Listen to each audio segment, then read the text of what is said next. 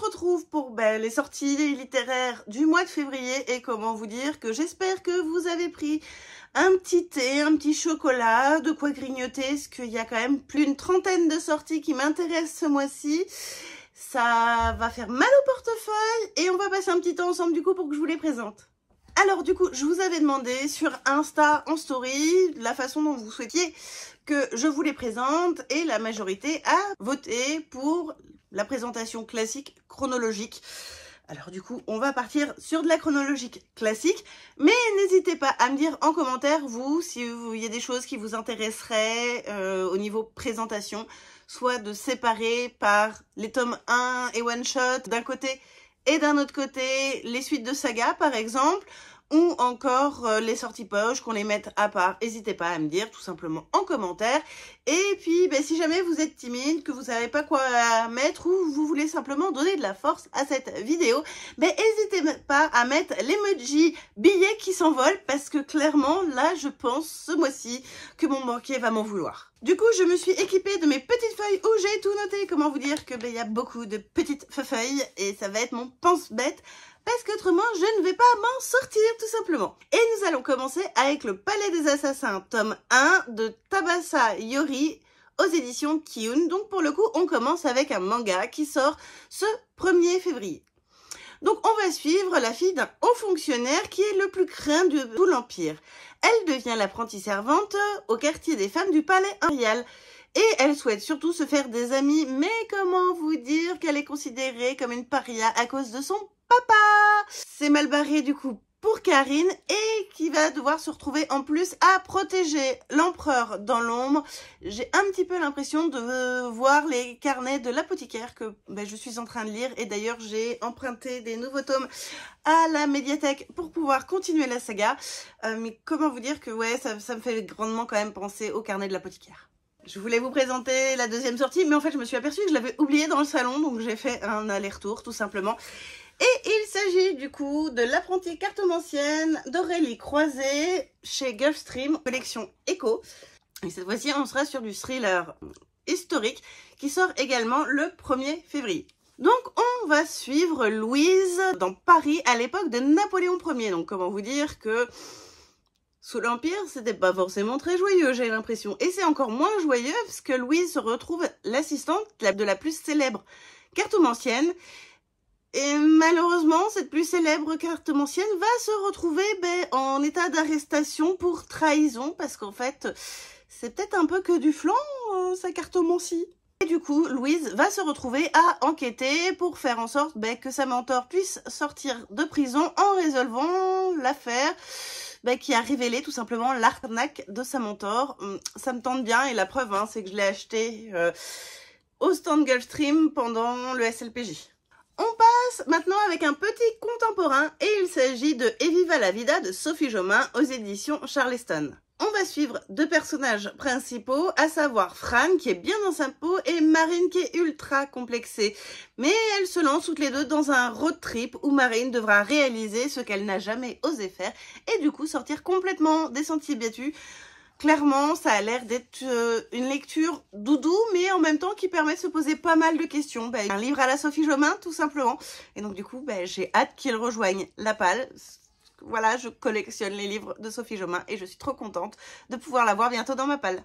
Toujours le premier, parce que l'air de rien, nous ont fait une flopée de sorties. En ce 1er février sort du coup Le Chant des Sirènes d'Amy Goldsmith aux éditions Collection R. On va suivre Liv qui a gagné une croisière dans le monde entier avec son meilleur ami Will. Sauf que ce dernier va disparaître et ben, Liv va tout simplement enquêter pour savoir pourquoi son meilleur ami a disparu. Nous continuons avec Thief's Gambit de Kyron Lewis aux éditions PKJ. Et nous allons suivre Ross, 17 ans, qui ne veut pas suivre la voie familiale, à savoir la voie du vol. Malheureusement, sa maman est kidnappée et ben, du coup, pour la sauver, elle ne va pas avoir d'autre choix que de participer à un grand trophée qui va réunir les plus jeunes et grands voleurs de sa génération. Donc, euh, voilà. Elle voulait fuir, ben elle peut pas. Une sortie poche au 1er février que j'ai noté puisqu'il n'est toujours pas dans ma pile à lire même s'il est disponible sur Nextory. C'est un contemporain et il s'agit du syndrome du spaghetti de Marie Vareille. On va donc suivre Léa, une jeune fille confiante et Anthony qui n'a plus aucun rêve. Il est blasé, dépité de la vie. Sauf que ben, la vie de Léa va s'écrouler et qu'Anthony va être le seul à la soutenir avec tous ses déboires. Un petit peu de romance peut-être en ce mois de février. En plus, il y a la Saint-Valentin, donc c'est parfait. Le premier sort Hush ne révèle jamais ta véritable identité de Licia Franco aux éditions Junon Publishing. Et alors pour le coup, j'ai été bien incapable de faire un résumé du résumé. Donc du coup, ben, je sors la tablette pour pouvoir tout simplement vous le lire. Je connaissais les règles. Ne jamais révéler ma véritable identité. Jouer le jeu, leur donner ce qu'ils cherchent, l'illusion. Ne jamais m'attacher aux clients. Le style de vie obscur et glamour de ces gens riches et indécents m'a ouvert les yeux sur un monde somptueux fait de péché et d'opulence. Mais surtout sur un homme que je ne peux pas avoir. Un homme que je désire désespérément. James Riviera. Nous jouons avec le feu en menant une double vie jusqu'à ce que nous fassions une découverte qui met à l'épreuve notre loyauté à tous les deux. Je n'avais qu'à suivre les règles, mais les règles sont faites pour être brisées. Alors attention, euh, comme toujours dans ce genre de romance, il y a des scènes explicites, donc pas pour les plus jeunes s'il vous plaît, euh, mais moi il me tente bien, j'avoue en plus, savoir exactement ce qui se passe, je suis curieuse. Accrochez-vous, nous sommes toujours le 1er février et sort Porcelaine sous les ruines d'Ada Vivalda aux éditions Olympe. Nous allons suivre une génie qui a été bannie sur Terre parce qu'elle a exaucé un trop grand nombre de vœux auprès des humains et qui se retrouve à vivre sur une île tout à fait verdoyante et chaleureuse. Sauf que l'archipel voisin en est complètement jaloux et qu'un émissaire ben, va être envoyé pour percer les secrets justement de cette île-là. Donc comment vous dire, on est sur de la fantaisie, mais en même temps j'ai l'impression qu'il y a du complot et de l'intrigue. Donc euh, oui, oui, oui, voilà, on y va alors, je sais pas si vous avez remarqué, mais il y a beaucoup de sorties de réécriture en ce moment au sujet de Peter Pan. Donc, ben, voilà, je vais vous en présenter une qui sort. Donc, il s'agit de Wendy de Capucine Sergent en auto-édition cette fois-ci. Et donc, ben, comme je vous l'ai dit, une réécriture de Peter Pan, mais avec une particularité, c'est que le capitaine Crochet n'est pas le méchant de l'histoire. Non, non, non, non, il serait là pour ben, secourir les enfants qui ont été kidnappés à Neverland. Et donc, ben, moi, je suis très curieuse de voir comment le capitaine Crochet peut être gentil et comment la méchante de l'histoire peut s'en sortir. Une sortie qui est attendue par beaucoup de monde, mais pas par moi, parce que je, suis dans la lecture actuellement de Keleana. Donc, ben, forcément, j'attends pas ce tome-là, parce qu'il faut que je lise tout Keleana, puis tout Akotar. Et pour ceux qui seraient intéressés, ben, il y a une LC qui est organisée sur toute l'année un tome par mois sur mon Discord. Le lien est en commentaire, donc n'hésitez pas à venir participer surtout. Et donc vous vous en doutez, il s'agit du tome 3 de Crescent City, donc Maison de la Flamme et de l'Ombre de Sarah Gimas chez De Saxus. Alors je vais pas vous parler du tome 2, que je n'ai pas encore lu d'ailleurs, encore moins du résumé du tome 3 parce que ce serait vous spoiler les deux premiers euh, tomes et en plus si j'ai compris le tome 3 spoil du Kéléana et ça, c'est sûr de la Cotard, mais je suis pas forcément sûre pour euh, Anna, mais c'est sûr, ça spoil du Akotard. Donc, voilà, c'est pas bien pour ça que j'attends pour pouvoir lire tout. Et donc, dans le tome 1, on va suivre Bryce qui a perdu sa meilleure amie et qui va devoir enquêter sur de nouveaux meurtres avec un ange déchu, en fait, tout simplement parce que, ben, les meurtres ont eu lieu exactement de la même façon et avec la même sauvagerie que le meurtre de sa meilleure amie.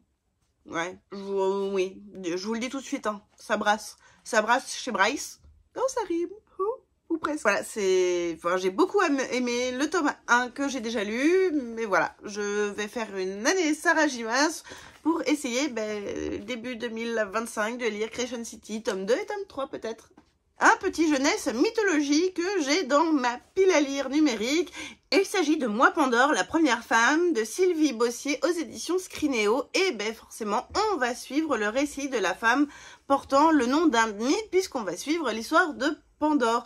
Alors vous connaissez très certainement le mythe de Pandore avec la boîte qu'il ne faut pas ouvrir, mais je ne connais rien du tout moi à l'histoire de Madame Pandore, donc je suis curieuse. Ah, c'est fini pour ce premier. Eh ben, dis donc, ça en faisait quand même des sorties l'air de rien. Et euh, je crois que pour le 7 et le 8, on n'est pas forcément mieux. Donc, euh, n'oubliez pas de boire un petit peu. Moi, je vais prendre mon petit thé, histoire de calmer ma gorge. Le 7 sort un tome 3, dont pour le coup, je n'ai pas lu le tome 2, mais bon, je devrais me le faire en début de semaine prochaine. Donc d'ici le 7, je l'aurai largement écouté. Il s'agit du coup de Twisted tome 3, Twisted 8, d'Anna Wang aux éditions Hugo New Romance. Alors, clairement, il y a de la scène explicite, en veux-tu, en voilà, dans le tome 1, ça c'est sûr. Dans le tome 1 aussi, il y a des pratiques euh, non conventionnelles, on va le dire comme ça, tout simplement. C'est quand même poétique de le dire comme ça. Mais du coup, c'est pas pour tout le monde. Euh, donc, prenez connaissance des trigger warnings euh, qui sont présents, des trigger warnings que nous pouvons donner durant les reviews littéraires. Et n'y allez pas en mode, oui, non, mais ça veut être une petite romance mignonne. Non. Non, non, c'est tout sauf des petites romances mignonnes.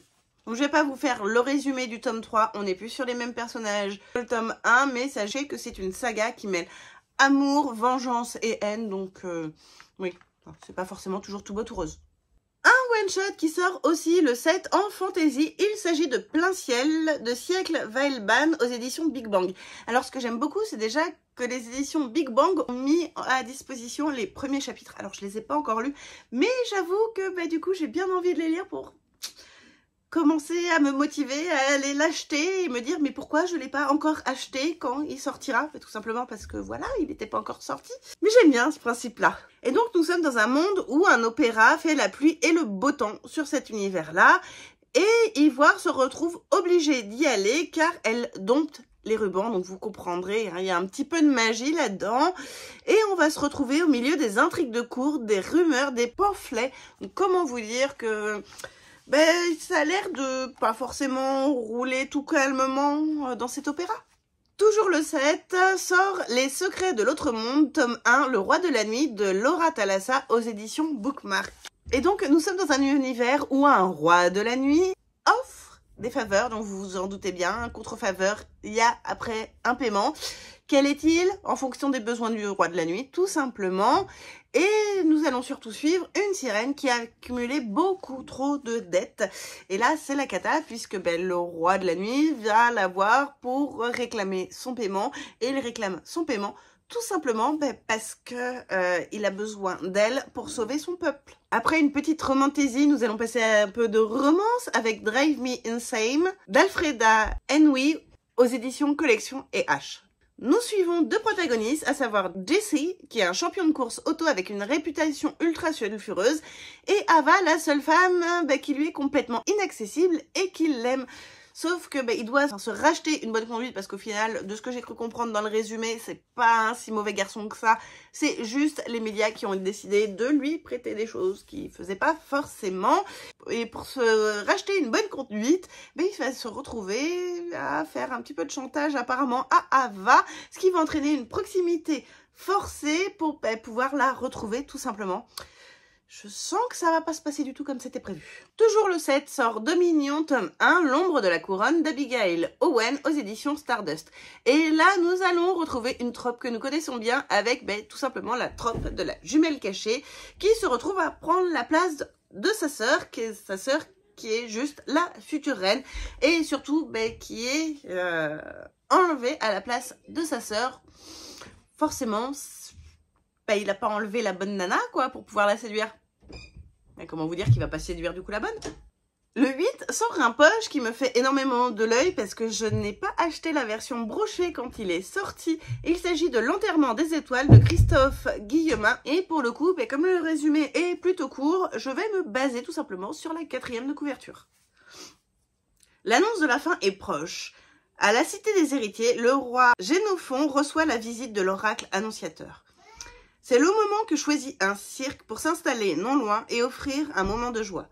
Cette compagnie de monstres de foire doit faire face à l'obscurité qui s'étend et découvrir la lumière intérieure, l'unité et l'harmonie comme dernier espoir. Dans la nuit d'encre, les étoiles éphémères seront portées par ceux que la société rejette pour leurs différences. J'aime beaucoup, ça me tente beaucoup. Un autre titre qui sort le 8 et je pense que vous l'avez vu passer partout parce qu'on a même trouvé des pubs dans le métro. Il s'agit de Noblesse oblige de Maïwen Alix aux éditions Slalom. Alors, il me tente énormément, mais je suis pas sûre de les lire tout de suite pour la simple et bonne raison, c'est que j'ai encore le tome 2 des clones de la nation de Maïwen Alix à lire et donc du coup, bah, soyons un petit peu raisonnables quand même. Et donc dans une Uchronie où la révolution de 1789 n'a pas eu lieu, la France est toujours sous la royauté. Mais la royauté a décidé ben, tout simplement d'offrir, je dirais, des pains et du jeu, et surtout du jeu à euh, ses roturiers, avec l'utilisation entre autres de la télé-réalité et du coup, ben, Noblesse oblige est tout simplement un programme où les roturières vont pouvoir rencontrer les grands héritiers célibataires qui font la France. Et nous allons tout simplement suivre Gabrielle, qui est une candidate anti-royaliste. Donc comment vous dire que je pense que ça va ruer dans les chaumières et qu'elle va apprendre beaucoup de secrets.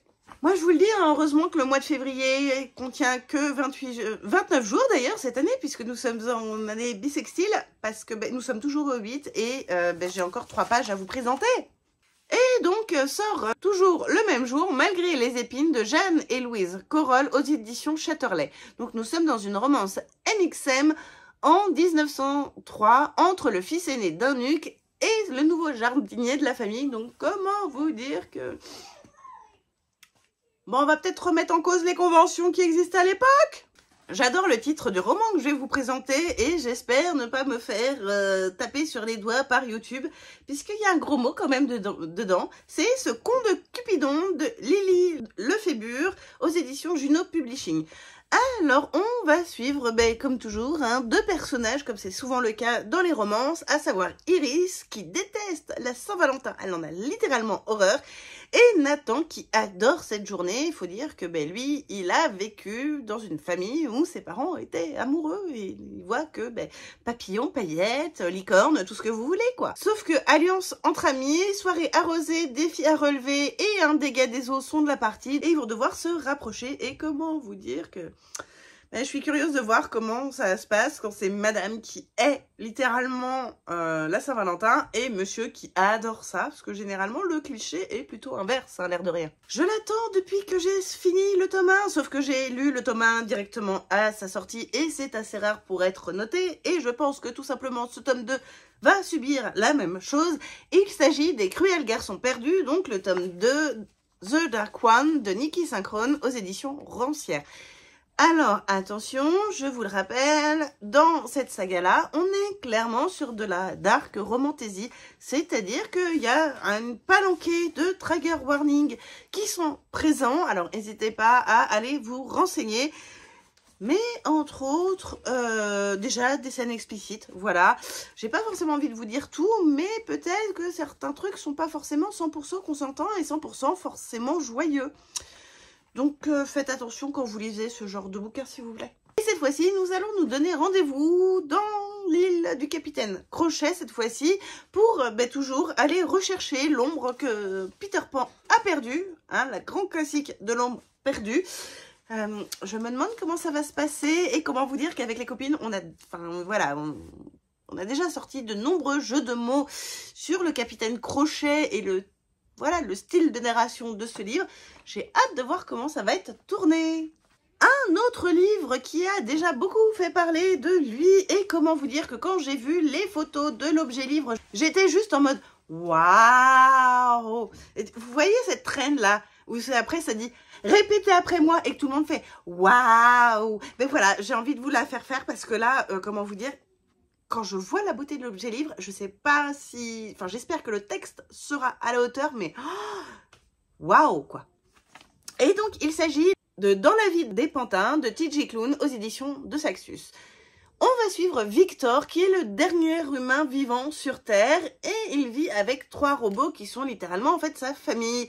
Sauf que bah, l'arrivée d'un petit quatrième va foutre un joyeux bordel, surtout que le papa euh, de Victor, donc un robot, je vous le rappelle, nommé Giovanni, va se retrouver capturé et l'objectif de Victor, ça va être de sauver son papa de la reprogrammation parce que ben, c'est ce qui pend au nez de ce robot qui apparemment n'est pas forcément une simple IA toute douce. Un petit peu d'auto-édition pour commencer cette journée et la présentation des livres qui sortent le 9 février avec Cupid Love Story d'Aurélie Philippe, Josepha Juillet, Chalice Automne et Elisa Forest. Et en fait, bah, tout simplement, nous allons avoir un recueil de romances où cette fois-ci, bah, c'est Cupidon qui va se retrouver à trouver l'amour. J'adore. Je... Voilà. Na, Cupidon, à toi de te faire troller pour une fois Nous arrivons à la moitié du mois et nous passons au 14 février. Alors, comment vous dire? On en parlait tout à l'heure. Le jour de la Saint-Valentin? Ben non, pas forcément, parce que le 14 février sort Club, tome 2, Damon de Dana Blue aux éditions Collection et H. C'est un tome 2 d'une trilogie MXM dans l'univers du BDSM. Alors, qui veut dire BDSM ne veut pas dire qu'il n'y a pas de Saint-Valentin, pas de romantisme ou quoi que ce soit. C'est juste que c'est un univers particulier avec ses codes euh, et je trouve que justement Dana Blue les a très bien transcrits dans son premier tome. Mais attention, hein, quand même, il y a de nombreux trigger warnings et comme dit Dana, renseignez-vous s'il vous plaît, ben, soit avant de l'acheter si vous pouvez, ils sont notés dans le livre, soit ben, avant de le lire tout simplement. Faites attention à vous parce qu'il y a des sujets qui sont pas vraiment fifous qui sont abordés dedans. Mais sinon, hein, je le répète, pour ceux qui sont curieux de l'univers du BDSM, certes c'est une romance MM, mais les codes ils sont quand même plutôt bien présents, contrairement à d'autres livres dont je tairai le nom, et que j'ai même pas réussi à écouter entièrement, parce que c'était ni fait ni à faire littéralement. On se concentre un petit peu du coup sur le 14 au niveau des sorties où va sortir une romance paranormale. Va sortir du coup Dead Garden tome 1, l'héritière de Cassandra O'Donnell aux éditions Flammarion. Et un résumé court, donc je reprends ma tablette pour pouvoir vous le lire. Vivre quand on a 16 ans au sein d'un clan de sorcières sociopathes n'est pas facile tous les jours, moi je vous le dis. Entre les cours de sortilège, de potions et de magie élémentaire des vicarisses, je suis au bout du rouleau. Alors si en plus on commence à ramasser les cadavres dans tous les coins, je sens que je ne vais pas tarder à provoquer un massacre. Parce qu'on peut dire ce qu'on veut. La patience, chez nous, c'est décidément pas un trait de famille. Moi j'aime bien, j'aime bien, j'imagine bien le côté pas patient du tout qui fait un carton plein. Toujours le 14, un, joli objet livre, mais je pense que pour le coup, je le prendrai très certainement en brochet sort. Il s'agit de Au plus profond de la forêt d'Oli Black aux éditions Rajo. Et pareil, je vais encore vous lire le résumé puisqu'il est assez court et que je ne voyais pas comment je pouvais ben, en sortir la substantifique moelle. À sol clair, les humains et les failles coexistent. Là, au plus profond de la forêt, celui qui cherche bien peut trouver un cercueil de verre. À l'intérieur, un garçon doté de cornes et d'oreilles aussi pointues que des couteaux est assoupi depuis des générations. Hazel et Ben, frères et sœurs, étaient tous les deux amoureux de lui quand ils étaient enfants. Mais le jour où le garçon faillit se réveille afin de sortir de sa prison de verre, le monde bascule. Petite fille, Hazel aimait prétendre qu'elle était une chevaleresse, brandissant son épée et réparant les torts. Mais ces jeux d'enfants seront-ils suffisants pour échapper aux trahisons et sauver Seul Claire du danger qui menace? Je suis très curieuse parce que Holly Black, du coup, je l'ai découverte avec sa trilogie Le Peuple de l'air. J'ai pas forcément lu pour l'instant les autres livres qu'elle avait sortis sur cet univers-là. Mais du coup, la découvrir dans un one-shot et dans un autre univers, ben ouais, je veux bien, moi. Dernier livre qui sort le 14 et à nouveau un poche. Il s'agit du tome 1 de Havenfall de Sarah Holland. Donc, Havenfall, en fait, c'est une auberge où ben, il y a trois mondes qui s'entrecroisent et chaque monde sont derrière une porte. Nous avons Fjordankill qui est un univers glacé, Ardent qui est tout simplement un univers brûlant, vous vous en doutez avec un nom pareil, et Solaria qui est un univers tout simplement condamné puisqu'il y a des créatures bestiales qui y vivent et que on on veut pas avoir affaire à eux quoi. Mais sauf que ben, la porte de Solaria n'est plus scellée et que ben, la jeune fille qui vient aider son tonton euh, pendant les vacances va devoir ben, se trouver comment ça se fait et faire en sorte que ben, les bébêtes toutes moches de Solaria ne finissent pas dans Havenfall. On avance un tout petit peu dans le mois et on passe à la deuxième quinzaine officiellement de février avec ben, tout simplement le 15 février. Et donc, le 15 sort Se perdre à l'orée des songes de Thèse Corsac aux éditions Gulfstream. Les rêves dans cet euh, univers-là servent à mener les enquêtes puisque ben, des agents sont capables de s'infiltrer dans les rêves et du coup d'apprendre tout plein de choses. Et c'est comme ça que Naomi se retrouve à infiltrer les rêves d'un individu lié à une organisation criminelle. Sauf que ben, euh, Eol, sa meilleure amie et sa binôme ne l'entend pas de cette oreille-là et décide de la rejoindre et se retrouve à déterrer des informations sur son propre passé à elle. Ça va remuer, moi je vous le dis. Toujours le 15 sort également chez Scrignio cette fois-ci La malédiction d'argile de Jeanne Bouquenet-Carl. Et nous allons suivre quatre personnages, quatre personnages dont les destins vont être intrinsèquement liés. Donc nous avons Liam d'abord, qui est un alleur de rêve. Si j'ai bien compris, il leur parle ou il, les exauce. J'ai pas forcément tous les tenants et aboutissants. Nous allons suivre aussi Kinook, donc sa meilleure amie, et qui, elle, s'amuse à détrousser les bateaux de l'impératrice Azénor. Hein, juste moins que ça. Hmm? Donc nous allons suivre aussi cette fameuse impératrice. Et pour finir, nous allons suivre l'arc, le fiancé de la dite impératrice qui va devoir aller rechercher un objet ou je sais plus trop quoi avant de se marier avec elle. Donc, enfin voilà, les quatre, ça va être un joyeux bordel et j'avoue que je suis curieuse de le lire.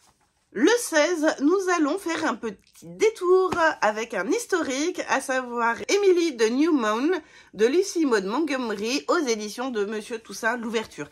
Alors, j'ai pas forcément cherché de quoi parlait ce livre-là, mais toujours est-il que j'ai beaucoup aimé le tome 1 d'Anne Davenley que j'ai lu de la même autrice et que j'ai bien envie de me laisser tenter, surtout que soyons honnêtes, les romans de cette autrice-là chez Monsieur Toussaint l'Ouverture sont juste canonissimes, quoi. Enfin, j'aimerais bien les avoir, là, euh, dans mon joyeux bordel de ma euh, bibliothèque. Accrochez-vous, on attaque les sept dernières sorties.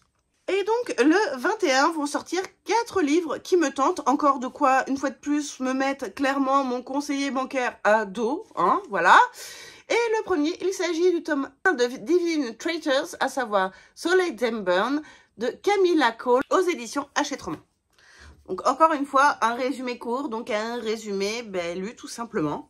Faron Vincent est capable d'invoquer le pouvoir des dieux. Cinq ans plus tôt, sa magie divine lui a permis de libérer son île de l'ennemi, l'empire de l'anglais et ses impitoyables dragons. À 17 ans, Faron est une légende pour son peuple et une nuisance pour les royaumes voisins.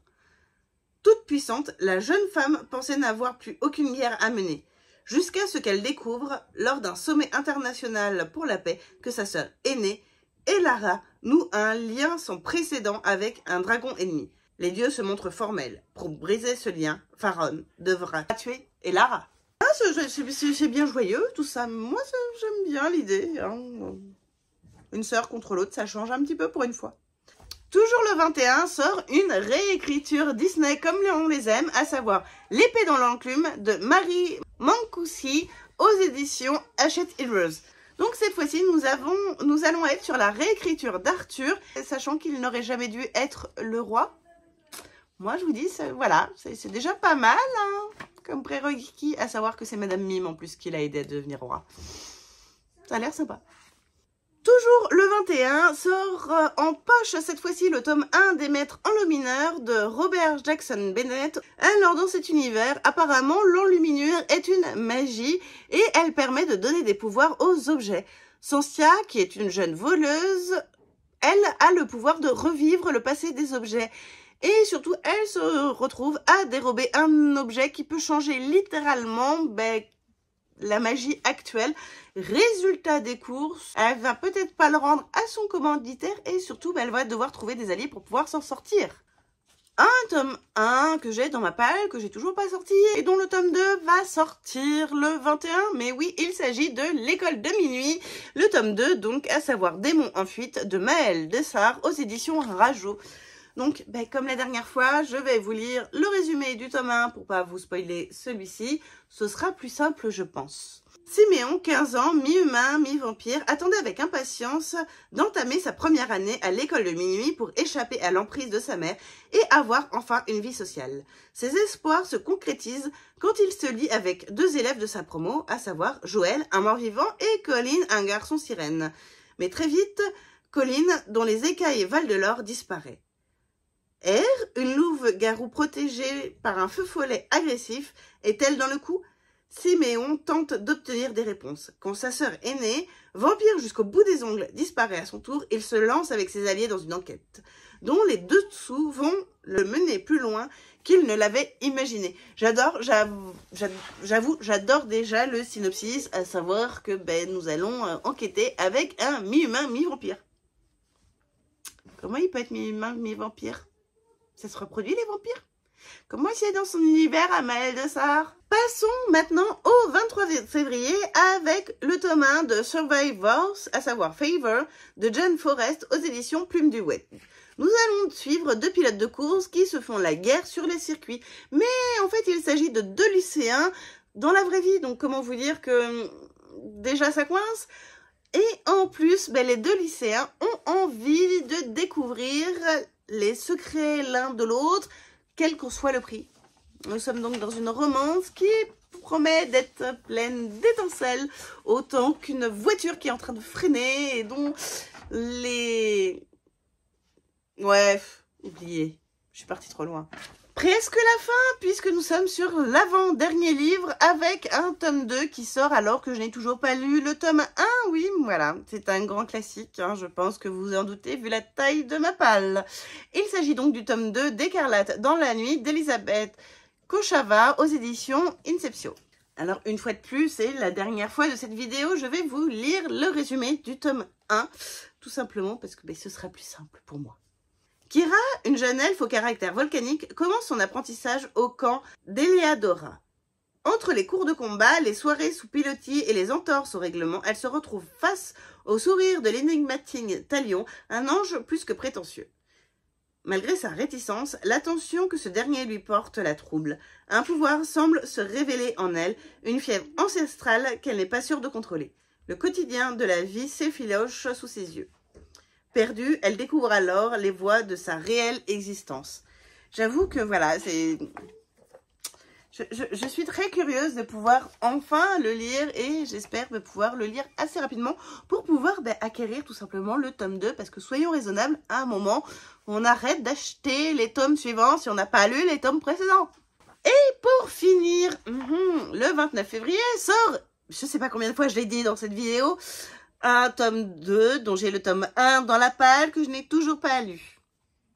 C'est pas tout à fait vrai. J'ai commencé à le lire. J'ai très vite mis de côté parce que c'était un petit peu trop chronophage pour mon cerveau à ce moment-là qui n'arrivait pas à fournir l'énergie pour. Mais il faut absolument que je le reprenne. Sauf que je veux finir d'abord le trilogie que l'auteur a écrit parce qu'il me reste toujours le tome 3 à lire pour finir la dite trilogie. Vous avez deviné de qui je parle? Et eh oui, il s'agit donc du tome 2 de l'Empire du Vampire, à savoir l'Empire des Damnés de J. Christophe, aux éditions de Saxus, une fois de plus. Et du coup, alors, pour faire simple, dans le tome 1, nous suivons ce que moi je nomme tout simplement un paladin, donc un guerrier de dieu, de lumière, tout ce qu'on veut, euh, qui va se retrouver à raconter son histoire alors que ben, les vampires dominent le monde et entre autres qu'il est interrogé par un seigneur vampire Déjà, rien que ce contexte-là, on fait mais pourquoi il raconte sa vie? Mais du coup, je suis très curieuse. Apparemment, de ce que j'ai pu lire, il a des très bons retours. Du coup, ben, j'ai bien envie, mais sauf que vu la taille de la pavasse, ben, en fait, j'ose pas. Et vous, du coup, qu'est-ce que vous avez noté pour février? Quelles sont les sorties dont j'ai parlé qui vous intéressent? Est-ce que vous en avez peut-être déjà lu certains, soit en VO, soit en version brochée avant qu'ils sortent en poche? N'hésitez pas à me dire tout ça en commentaire et je vous dis à très vite. Bye